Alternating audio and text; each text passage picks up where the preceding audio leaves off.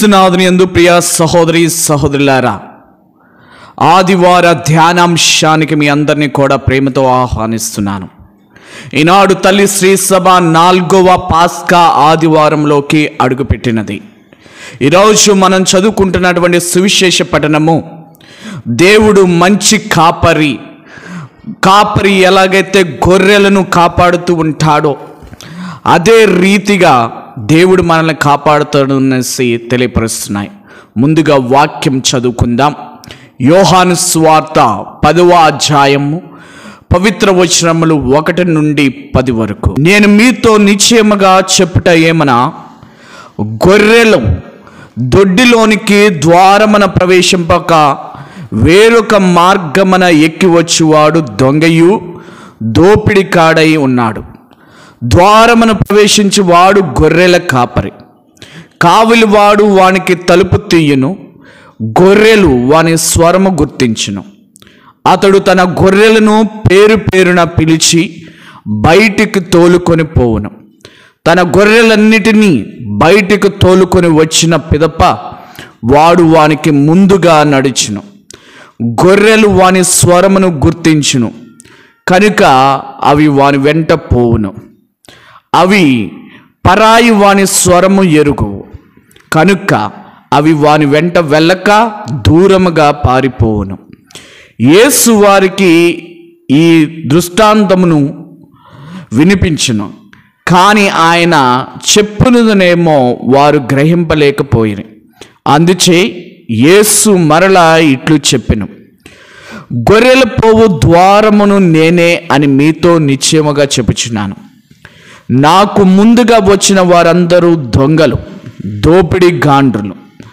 గొర్రెలు వారి స్వరమును ఆలకింపలేదు. నేను ద్వారమును ఎవడనను నా ద్వారమున ప్రవేశించిన ఎడల వాడి రక్షణ పొందును. అతడు వచ్చు పోవచ్చు ఉండును. వానికి మేత లభించును. దొంగవాడు దొంగిలించుటకు హత్య చేయుటకు నాశనం చేయుటకు మాత్రమే వచ్చును. నేను జీవమును దాన్ని సమృద్ధిగా ఇచ్చుటకు వచ్చి ఉన్నాను. ఇది క్రీస్తుని సువిశేషము. క్రీస్తునాథుని అందు ప్రియ సహోదరి సోదరులరా ఈ లోకములో ఏది శాశ్వతం కాదు. ప్రతి ఒక్కటి కూడా అశాశ్వతమైనది. ఈ లోకంలో ఉన్నటువంటి నీ భర్త కావచ్చు నీ భార్య కావచ్చు నీ పిల్లలు కావచ్చు ఈ లోకంలో ఉన్నటువంటి వస్తువులు కావచ్చు ఈరోజు నువ్వు ఉపయోగించేటటువంటి ఫోన్ కావచ్చు కంప్యూటర్ కావచ్చు ఈ లోకంలో నువ్వు ఉపయోగించేటటువంటి వాహనాలు కావచ్చు ఏదైనా కానీ అది అశాశ్వతమైనది పర్మనెంట్గా నీతో పాటు ఉండదు. పర్మనెంట్గా నీతో పాటు ఉండేది పర్మనెంట్గా నీతో పాటు ఉండేవాడు కేవలము దేవుడు మాత్రమే. ఆ దేవాతి దేవుని మనందరము కూడా ఎంచుకుంటూ ఉండాలి. ఆ దేవాతి దేవుని యొక్క సన్మార్గములో మనందరము కూడా నడుస్తూ ఉండాలి. మనందరము కూడా ఈ లోకములో పర్మనెంట్గా లేనటువంటి కోసం ప్రాకులాడుతూ అశాశ్వతమైన దానికోసం ప్రాకులాడుతూ శాశ్వతమైనటువంటి దేవుణ్ణి మరిచిపోయి జీవిస్తూ ఉంటాము. దేవుణ్ణి మరిచిపోయి దేవుని యొక్క మార్గాలను మరిచిపోయి మనందరము కూడా మన జీవితాన్ని వ్యర్థమ చేసుకుంటూ మన జీవితంలో అనేకమైనటువంటి కష్టాలు నష్టాలు తెచ్చుకుంటూ ఉంటాము. మన జీవితం మొత్తము కూడా దుర్బలం చేసుకుంటూ ఉంటాం కాబట్టి దేవుడు శాశ్వతమైనటువంటి దేవుడు శాశ్వతమైనటువంటి ప్రేమతో మనల్ని ప్రేమిస్తున్నాడు. ఆ మంచి కాపరి చూపించేటటువంటి మార్గంలో మనందరము కూడా నడుస్తూ ఉండాలి.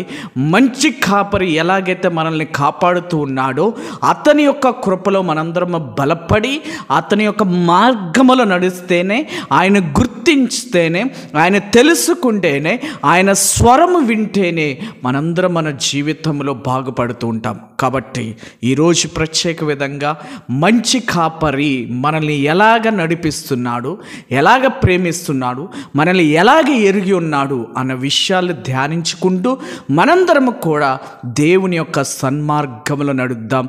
దేవుని తెలుసుకుందాం. దేవుని యొక్క ఆ మంచి కాపరి ఎవరైతే ఆ మంచి కాపరిని మనందరం కూడా ప్రేమిస్తూ మనందరము కూడా శాశ్వతమైనటువంటి దేవుడి పట్ల భయము కలిగి కలిగి భక్తి కలిగి విశ్వాసము కలిగి నమ్మకము కలిగి ఆ దేవుడు మాత్రమే మనల్ని రక్షిస్తాడు. ఆ మంచి కాపరి మాత్రమే మనల్ని రక్షిస్తాడు అనేసి జ్ఞాపకము చేసుకుంటూ ప్రతి నిత్యము మనందరము కూడా దేవుని కృపలో బలపడతాం. ఈరోజు మనందరము కూడా నాలుగవ పాస్కా ఆదివారంలోకి అడుగుపెట్టి ఉన్నాం. ఈ యొక్క ఆదివారాన్ని మంచి కాపరి ఆదివారం అంటుంటారు. లేక దైవ పిలుపు ఆదివారం అంటుంటారు. ఈరోజు ప్రత్యేక విధంగా మనందరము కూడా దేవుని పిలుపు కోసము ఎదురు చూస్తున్నటువంటి బిడ్డ బిడ్డల కోసము దైవ పిలుపు అందుకొని దైవ సేవ చేస్తున్నటువంటి మరి సేవకుల కోసము ప్రత్యేక విధంగా ఈరోజు మనందరము కూడా ప్రార్థన చేస్తూ ఉండాలి. అయితే ఈరోజు మంచి కాపరి యొక్క వృత్తాంతాన్ని మనందరము కూడా చదువుకున్నాం. ఈ మంచి కాపరికి ఉన్నటువంటి లక్షణాలు ఏంటి? ఈ మంచి కాపరి గొర్రెల కాపరి గొర్రెల మందను ఎలాగైతే మరి నడిపిస్తూ కాపాడుతూ ఉంటాడో. అదే రీతిగా దేవుడు ప్రతి ఒక్క మనిషిని మరి కాపాడుతూ ఉన్నాడు అనేసి తెలియపరుస్తున్నాడు. ఇక్కడ గొర్రెల కాపరి యేసు ప్రభువారు గొర్రెల మంద ఈ లోకములో ఉన్నటువంటి ప్రజలు. గొర్రెల కాపరికి ఉన్నటువంటి లక్షణాలు ఏంటి? ముందుగా మనం చూసినట్లయితే వాక్యం చదువుకున్నట్లయితే యోహాను సువార్త పదవ అధ్యాయము నాలుగో వచనము చదువుకున్నట్లయితే తన గొర్రెలన్నిటినీ బయటికి తోలుకొని వచ్చిన పిదప వాడు వానికి ముందుగా నడుచును అనేసి రాయబడినది. ఇక్కడ గొర్రెల కాపరి గొర్రెలు ముందుగా నడుచును అనేసి రాయబడినది. అంటే గొర్రెల కాపరి ఎప్పుడు కూడా గొర్రెల మందను మరి దారి చూపిస్తూ మేత ఎక్కడున్నది? గొర్రెల మంద మరి మేత మేయటకు కావలసినటువంటి మేత ఎక్కడున్నది? అనేసి చూస్తూ గొర్రెల మందనన్నిటిని కూడా తాను ముందుండి నడిపిస్తూ ఉంటాడు ప్రియ సహోదరి సోదరులరా. ఎలాగైతే గొర్రెల మందకు దారి చూపుతూ మేతను చూపుతూ మరి గొర్రెలకు కావలసినటువంటి ఆహారాన్ని చూపిస్తూ అదే రీతిగా గొర్రెలన్నిటిని కూడా ఒక గమ్యస్థలానికి గొర్రెల కాపరి ఎలాగైతే చేరుస్తూ ఉంటాడో అదే రీతిగా యేసు ప్రభువారు మన ముందు ఉంటూ మన ముందు నడుస్తూ మనకి దారి చూపుతూ మనకి మార్గము చూపుతూ మనము ఏ గమ్య స్థలానికి చేరాలో అక్కడికి చేర్పిస్తూ మనకి కావలసినటువంటి అనుదిన భోజనము మనకు కావలసినటువంటి శాశ్వతమైనటువంటి భోజనం ఇస్తూ మనలందరినీ కూడా నడిపిస్తూ ఉంటాడు ప్రియ సహోదరి సహోదరులారా మనం చూసినట్లయితే యోహాన్ స్వాత పద్నాలుగో అధ్యాయము ఆరో వచ్చిన చదువుకున్నట్లయితే నేనే మార్గమును సత్యమును జీవమనే దేవుడు పలుకుతున్నాడు. అంటే యేసు ప్రభువారు మార్గ చూపరి ఇక్కడ గొర్రెలకు గొర్రెల కాపరి ఎలాగైతే మార్గ చూపరో అదే రీతిగా మనలందరికీ కూడా దేవుడు మార్గ చూపరి మరి ఆయన యొక్క మార్గముల మనందరము కూడా నడుస్తూ ఉండాలి.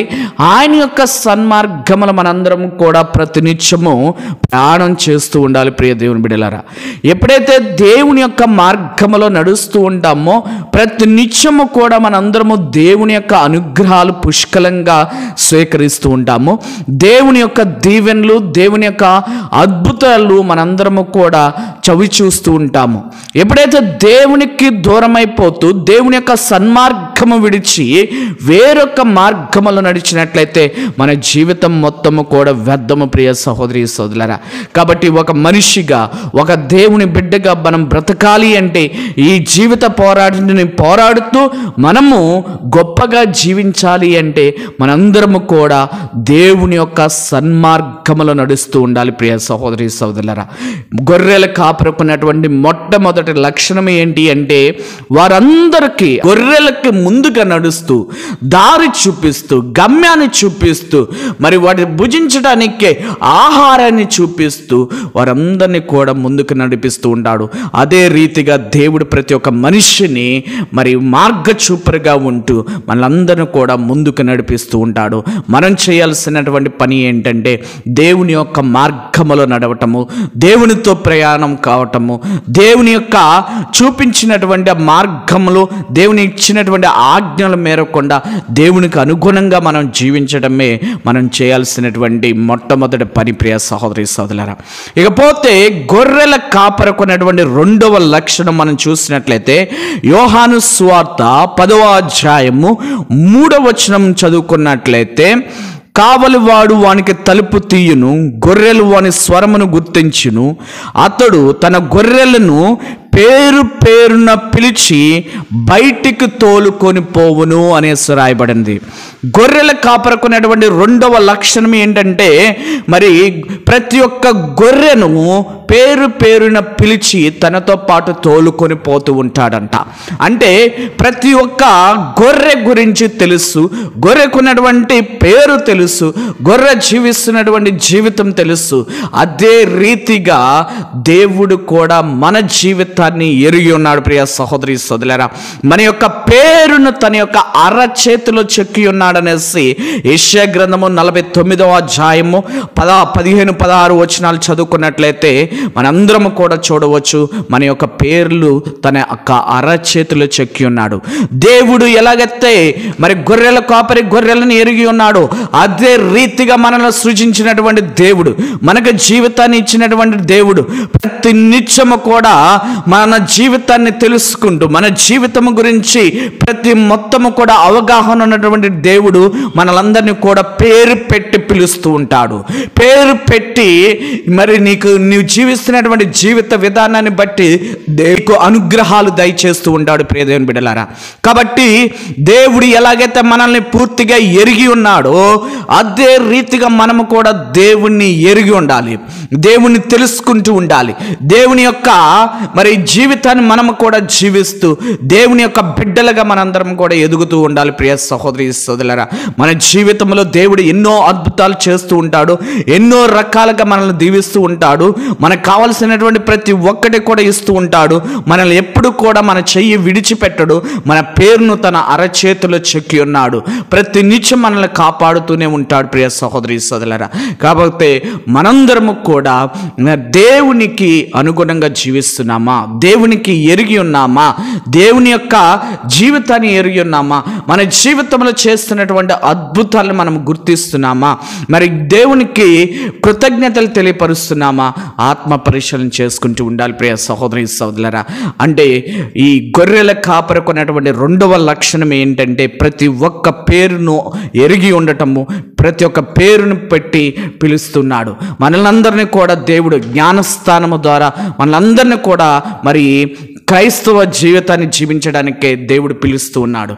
మనము మన జీవితాన్ని దేవుని కోసం సమర్పిస్తున్నామా? దేవుడు తన యొక్క జీవితాన్ని మన కోసం సమర్పించాడు. దేవుడు మన కోసం ఈ లోకంలోకి వచ్చాడు. మన కోసం సెలవు మోసాడు మన కోసం మరణించాడు. మనతో ఉండటానికే పునరుద్ధానమయ్యాడు. మనము దేవుని కోసం ఏం చేస్తున్నాము? మనము దేవునికి అనుగుణంగా జీవిస్తున్నామా? ఆత్మ పరిశీలన చేసుకుంటూ ఉండాలి ప్రియ దేవుని బిడ్డలారా.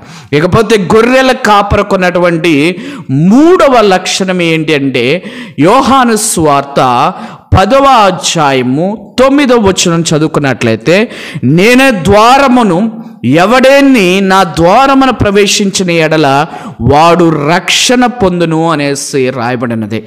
అంటే ఒకటి గొర్రెల కాపరి గొర్రెలకు ముందుగా నడుస్తూ ఉంటాడు. రెండవదిగా ప్రతి ఒక్క గొర్రె గురించి తెలుసు. మూడవదిగా ప్రతి ఒక్క గొర్రెను అతను అనేకమైనటువంటి మృగాల నుండి మరి రక్షిస్తూ ఉంటాడు. క్రూర మృగాల నుండి గొర్రెలను రక్షిస్తూ ఉంటాడు ప్రియదేవుని బిడ్డలారా. కాపాడుతూ ఉంటాడు. అదే రీతిగా దేవుడు మనలందరినీ కూడా కాపాడుతూ ఉంటాడు. మనకి రక్షణ తీసుకురావటానికి దేవుడు ఈ లోకంలోకి వచ్చినాడు. అదే పదో వచనం చదువుకున్నట్లయితే నేను జీవమును వచ్చుటకు దాన్ని సమృద్ధిగా ఇవ్వటానికే వచ్చి ఉన్నాను. అంటే ఏ గొర్రె కూడా నాశనం అయిపోకుండా ఏ మనిషి కూడా నాశనం అయిపోకుండా ఏ గొర్రె కూడా మరి క్రూర ముగాలకు బలి కాకుండా ఏ మనిషి కూడా ఈ లోకంలో ఉన్నటువంటి దుష్ట శక్తులకు లొంగిపోకుండా దుష్ట శక్తుల బారిన పడకుండా సాతాను శక్తిని లోని కాకుండా సాతాను బానిసత్వంలో పడిపోకుండా ప్రతి నిత్యము దేవుడు మనల్ని కాపాడుతూ ఉంటాడు. ప్రతి నిత్యము మనల్ని రక్షిస్తూ ఉంటాడు ప్రియ దేవుని బిడ్డలారా. కాబట్టి మన కోసమే మనకులో ఉన్నటువంటి మరి గొర్రెల కాపరి గొర్రెల క్రూరముగల నుండి ఎలాగైతే రక్షిస్తూ ఉంటారో కరువు కాటకముల నుండి ఎలాగైతే రక్షిస్తూ ఉంటాడో అదే రీతిగా మనల్ని ప్రతి నిత్యము దేవుడు రక్షిస్తూ ఉంటాడు కాపాడుతూ ఉంటాడు. మనకు కావలసినటువంటి అనుగ్రహాలు దయచేస్తూ ఉంటాడు. మనకి ఏ కొదవ లేకుండా మనందరినీ కూడా మరి జీవించేలాగా చేస్తూ ఉంటాడు. దేవుని అందే రక్షణ యేసు ప్రభు నందే రక్షణ. అపోస్తుల కార్యము నాలుగో అధ్యాయము పన్నెండు వచ్చిన చదువుకున్నట్లయితే క్రీస్తు నందు తప్ప మరెవరి ఎందు రక్షణ లేదు. రక్షణ కల్పించిన నామము కేవలము దేవునికి మాత్రమే ఉంది. దేవుని ఎందు ఎవరైతే ప్రార్థన చేస్తారో యేసు ప్రభువుని వారిని ఎవరైతే నమ్ముకుంటారో యేసు ప్రభు వారి అంట ఎవరైతే ప్రయాణం చేస్తూ ఉంటారో వారు మాత్రమే రక్షింపబడతారు. వారికి మాత్రమే రక్షణ ఉంటుంది. కాబట్టి మనందరము కూడా మరి ప్రతి నిత్యము ఇక్కడ చూసినట్లయితే మరి మంచి కాపరి మనల్ని మనందరికి ముందు నడుస్తూ ఉంటాడు. పేరు పేరు పేరు పెట్టి పిలుస్తూ ఉంటాడు పేరు పేరున రక్షణ ఇస్తుంటాడు పేరు పేరున మనందరిని దీవిస్తూ ఉంటాడు అదేవిధంగా మనలందరం ప్రతి నిత్యము రక్షిస్తూ కాపాడుతూ ఉంటాడు. ఈ మూడు లక్షణాలు కూడా మంచి కాపర కలిగి ఉన్నాడు. ఆ మూడు లక్షణాలు మన జీవితంలో ప్రతి నిత్యము మనల్ని కాపాడుతూ మన వెంట నడుస్తూ మనల్ని మరిచిపోకుండా ప్రతి నిత్యము కూడా మనకు కావలసినటువంటి అనుగ్రహాలు దయచేస్తూ ఉంటాడు. మనము ఏం చెయ్యాలి అనేసి మనం చూసినట్లయితే ప్రియ బిడలారా గొర్రెలు ఎలాగైతే మరి గొర్రెల కాపరి స్వరం వింటాయో గొర్రెల కాపరి యొక్క మరి మాటను వినటానికి అనుగుణంగా నడుస్తూ ఉంటాయో అదే రీతిగా దేవుని యొక్క మాటను ఆలకిస్తూ దేవుని యొక్క స్వరాన్ని ఆలకిస్తూ ప్రతి నిత్యము కూడా మనందరము దేవునికి అనుగుణంగా ఉండాలి దేవునికి అనుగుణంగా జీవిస్తూ ఉండాలి. మన జీవితంలో మరి ప్రతి నిత్యము దేవుడికి ఇష్టమైనటువంటి మార్గములు నడుస్తూ దేవునితో పాటు నడుస్తూ దేవునికి తెలుసుకొని దేవునికి ప్రతి నిత్యము కృతజ్ఞతలై ఉంటూ అదేవిధంగా మనందరము కూడా ఎలాంటి పాపము చేయకుండా మరి ప్రతి నిత్యము కూడా దేవుని నామములు మనందరము కూడా రక్షింపబడాలనేసి ప్రత్యేక విధంగా ప్రార్థన చేద్దాం. ఈరోజు మంచి కాపరి యొక్క ఆదివారము మరి గొర్రెల కాపరి ఎలాగైతే తన మందను మరి రక్షిస్తూ ఉంటాడో అదే రీతిగా మనందరిని కూడా దేవుడు రక్షిస్తూ ఉన్నాడు. మరి దైవ పిలుపు ఆదివారము దేవుడు ప్రతి ఒక్కరిని పేరు పెట్టి పిలిచి మనందరినీ కూడా తన యొక్క శిష్యులుగా శిష్యురాలుగా చేసుకుంటున్నాడు. కాబట్టి మనందరము కూడా దైవ సేవల నిమగ్నమైతూ ప్రత్యేక విధంగా మరి తల్లిదండ్రులు వదులుకొని బంధుమిత్రులను వదులుకొని ఇంటిని వదులుకొని దైవ సేవకు తన యొక్క వారి యొక్క జీవితాన్ని అంకితం చేసుకుంటున్నటువంటి ప్రతి ఒక్క దైవ సేవకుడు కోసం ఈరోజు ప్రత్యేక విధంగా ప్రార్థన చేద్దాం. మరి ఎంతో ఇంకా దేవుని తెలుసుకొని దైవ మార్గంలో నడుస్తూ దైవ సేవ చేసుకోవడానికి వస్తున్నటువంటి ప్రతి ఒక్క బిడ్డను దేవాత దేవుడు ఆశీర్వదించాలనేసి ఈరోజు మనందరం కూడా ప్రత్యేక విధంగా ప్రార్థన చేద్దాం. ప్రార్థించుదాము. పరిశుద్ధుల ప్రేమగల తండ్రి గడిచిన కాలమంతి మమ్మల్ని అందరినీ దీవించి కాచి కాపాడేందుకు వేలాది వందనాలు. ఈరోజు ప్రత్యేక విధంగా ఈ వాక్యం అన్నటువంటి ప్రతి ఒక్క బిడ్డని ఆశీర్వదించండి. మంచి కాపర వల్లే మా ముందు నడుస్తూ మమ్మల్ని పేరు పెట్టి పిలుస్తూ మమ్మల్ని ప్రతినిత్యము రక్షిస్తున్నటువంటి మమ్మల్ని అందరినీ కూడా ప్రతి నిత్యము దీవించండి ఆశీర్వదించండి. ఎల్లప్పుడూ నీ కృపలో బలపడుతూ నీకు అనుగుణంగా జీవిస్తూ నీ యొక్క మార్గం ఎంచుకుంటూ నీ యొక్క జీవితాన్ని మేమందరము కూడా జీవిస్తూ ప్రతి నిత్యము కూడా కూడా నీ యొక్క ఇష్టమైనటువంటి బిడ్డలుగా జీవించే భాగ్యాన్ని మా అందరికి దయచేయమని ప్రతి నిత్యము అనేకమైనటువంటి మేలు పొందుకుంటూ జీవించే భాగ్యాన్ని దయచేయమని ఏసయ్య పరిశుద్ధ నామమును అడిగి వేడుకుంటున్నాం. తండ్రి ఆమెన్. ప్రభు మీతో ఉండుగాక మీ ఆత్మతో ఉండునుగాక సర్వశక్తి గల సర్వేషు పిత పుత్ర పవిత్రాత్మ మేమందరినీ దీవించి కాచి కాపాడునుగాక. ఆమెన్.